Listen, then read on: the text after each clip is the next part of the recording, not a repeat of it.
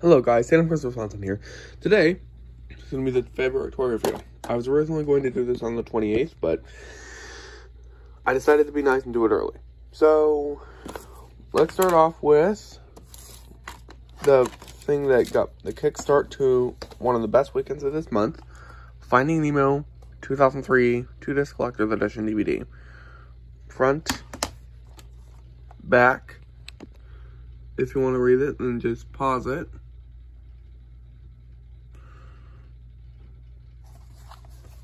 Side, same goes to the side. If you want to read it, just pause it.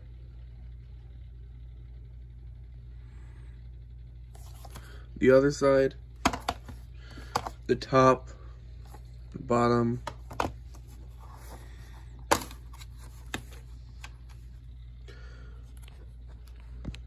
Here's disc one, plunge into the filmmaker's world, and disc two, avoid your family fun.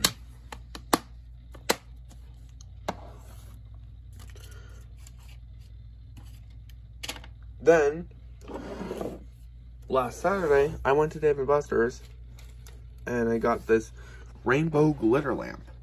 You probably saw it in my birthday haul, but yeah.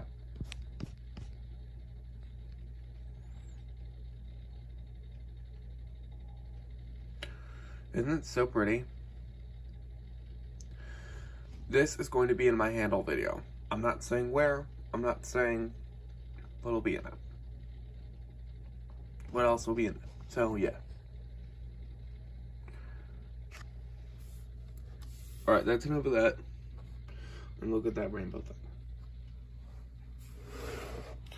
And then, next, we have this Power Rangers DVD that I got from one, another one of my classmates. By the way, this Finding Nemo DVD I got from James. This is what I got from Ali. Here's the front. Here's the back. If you want to read it, and just pause it. Side, other side. This is also two discs, and top, bottom. Here's disc one.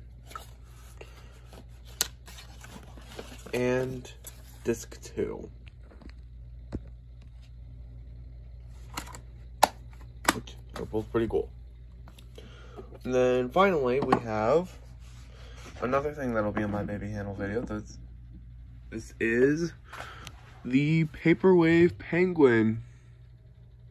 The Paperweight Wave Penguin. You you, I bet you'll already know where this is going to be, so I don't need to tell you.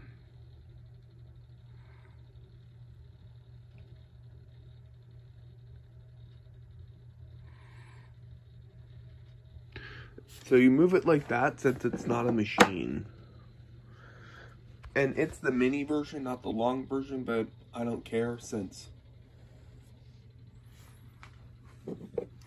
I don't care since on the inside it looks like it's seen in, it's the one seen in Baby Neptune or the one filmed by Mr. 10 because it has two of them instead of one. But regardless, it's still the Paperwave Penguin, so I still appreciate for what it is. Anyways, that was February toy review, so be sure to like, comment, subscribe, see you later. I, I plan on getting more things in March, but you know, wouldn't be surprised if I don't, but see you later, guys. Goodbye.